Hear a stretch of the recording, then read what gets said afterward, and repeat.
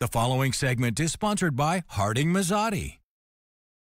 The village of Hoosick Falls expects to receive $3 million over the next three years as a result of a of the village joining a national class action settlement related to PFAS water contamination. Partner Rosemarie Bogdan from Harding Mazzotti is here to explain this all. So what happened in this case? Well, what happened in this case is there was a class action commenced on behalf of municipalities all over the country, and the village uh, joined that class action. And the purpose of the class action was to get compensation for the villages in the costs that they have incurred to try to deal with this PFAS contamination, which has been a real problem. Yeah, one of the problems with it is it can cause health issues, injuries. So what are some of those outcomes? Um, well, PFAS is a forever chemical, and the problem is, is that it does not biodegrade.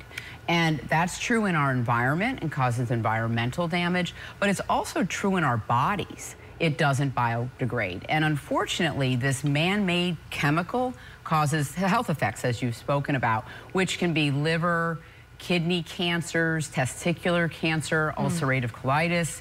Um, so, um, you know, that's really the issue. Yeah.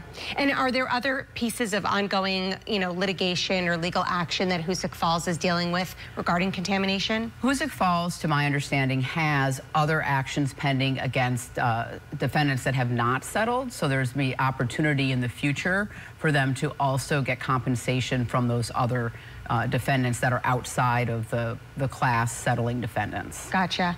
Um, if you believe that you have suffered a health issue related to PFAS contamination, what should you or can you do?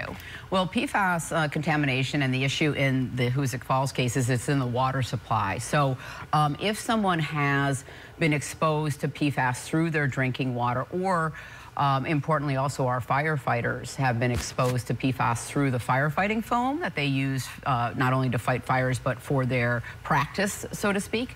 Um, then they really should consult with a law firm that's handling the PFAS cases. We're doing that here at Harding Mazzotti um, to see about their exposure and whether their particular cancer or illness is associated with that. Yeah, no, that makes sense. All right, well, thank you so much for explaining it all for us. My pleasure. And for more info covered in our weekly What Are Your Rights segments or to send us a story idea, just head to our website, cbs6albany.com.